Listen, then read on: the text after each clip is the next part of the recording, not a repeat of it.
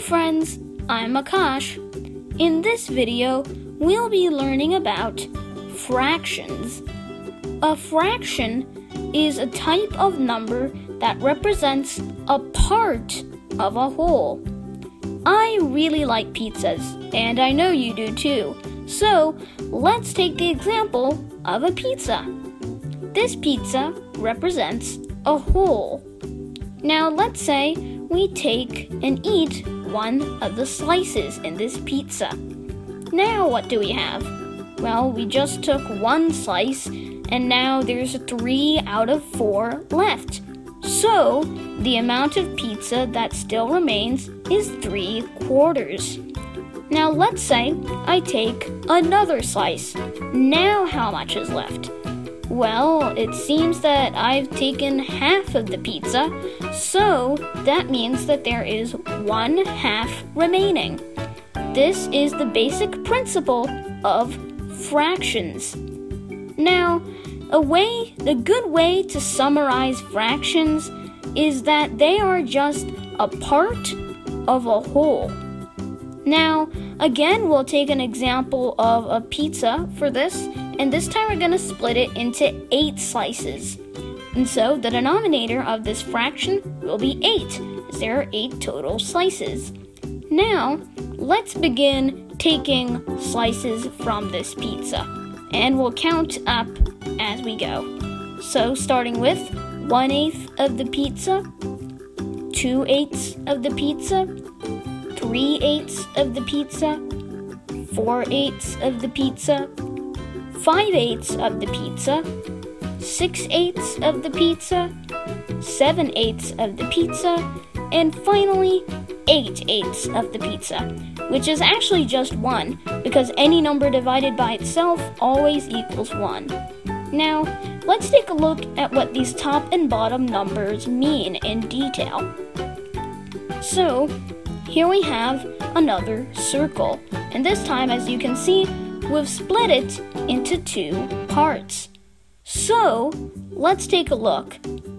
Now, the fraction that represents the shaded part of this circle is 1 half, which you can write as 1 over 2, or 1 by 2. Now, the top number here, 1, is called the numerator, and it is the yellow part. It's the shaded part in our circle. And the bottom number, the 2, is the denominator, the total number of parts in our circle. And so the total fraction of the yellow parts of our circle is 1 half. Now, let's go to types of fractions. There are three major types proper fractions, improper fractions, and mixed fractions. In a proper fraction, the numerator, the top number, is smaller than the denominator, the bottom number. Three examples for this are 1 half, which is 1 over 2, 3 quarters, which is 3 over 4, and 5 eighths, which is 5 over 8. All of the numerators of these fractions are smaller than the denominators of these fractions. That's why they are proper fractions. Let's move on to improper fractions.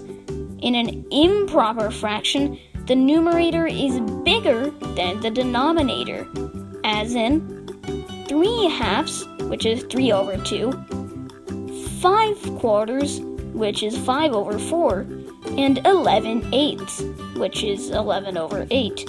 In all of these, the numerator is bigger than the denominator.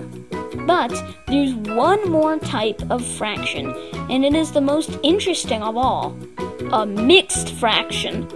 In a mixed fraction, there is both a whole number and a proper fraction, as in one and a half which is written as 1 and then 1 over 2, 2 and a quarter, which is 2 and then 1 over 4, and then 4 and 3 eighths, written as 4, then 3 over 8. So all of these are different from the both proper and improper fractions, in that instead of having just one fraction, you have a whole number and then a fraction. This is very interesting, and those are the three types of fractions proper, improper, and mixed. In the next video, we'll be learning about adding and subtracting fractions with the same denominator. Thanks so much for watching. Love you, Akash.